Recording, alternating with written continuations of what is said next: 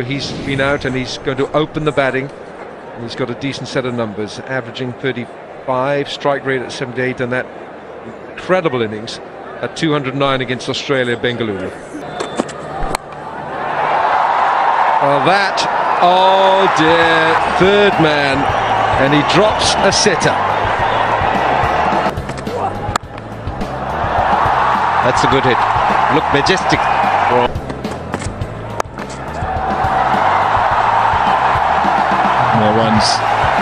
In fact, four more runs. Half century for Rohit Sharma on shot, wide open space on that leg.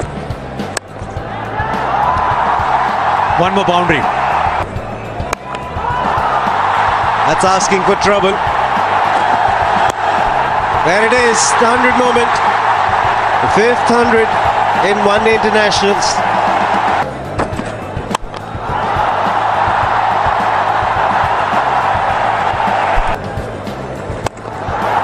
Straight down the ground. It's a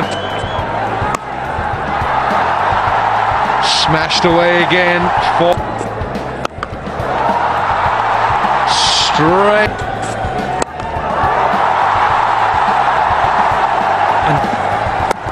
Was the upper leg well played, magnificent.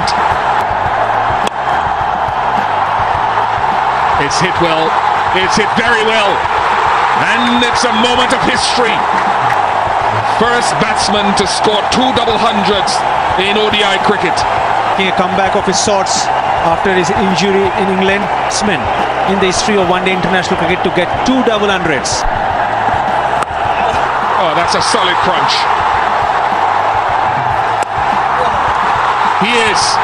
Rohit Sharma now becomes Virender Sehwag's 219. Now that, how do you...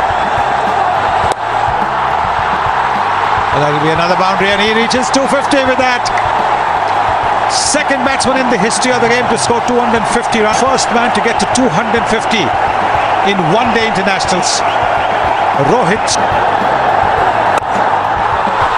One more six. This time straight. That's 400.